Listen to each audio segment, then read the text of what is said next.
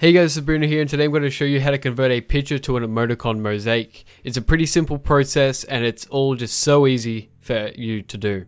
So this picture is a picture of the B1 Steam emoticon and it ended up pretty good looking at the end of it. So this is just info, info box, so you're going to have to have your info box free so you can do this. Alright, so let's go to a website called steamid.io and you'll see it wants some input. So what you want to do is go to your Steam profile in a Chrome browser or internet browser, whatever, and then copy, copy, and paste your profile URL into there and press lookup. So now we've found our Steam ID. It's right up here. We've just got to click the little copy button here, and so it's copied to your clipboard. Now we're going to go to steam.tools slash mosaticon. There is a link down below for that. And I'm just going to paste it paste it into this top little part here. I'm going to go fetch emoticons and it'll take a little bit to get it, gather all our emoticons. I'll be right back.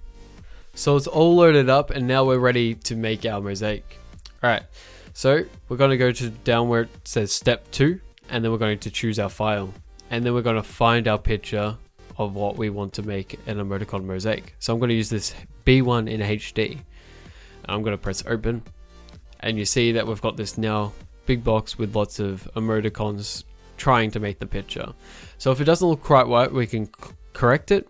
So I'm going to actually change the background to the CSGO B. So I'm going to click this little uh, ink drop sort of thing and then click where I want to change it. It's like a paint bucket fill and all of that sort of stuff. Alright, and for the face, I'm going to change it to the actual B1 so it's a bit smoother. And then I'm going to go to the pencil and just make clean it up a bit. So there's some random emoticons everywhere. I'm going to make the duck and replace it where the uh, locks are. And then for the outline, I'm going to go to the Billard Lucky emoticon, which is a pure black with an 8 in the middle, but it's not that noticeable.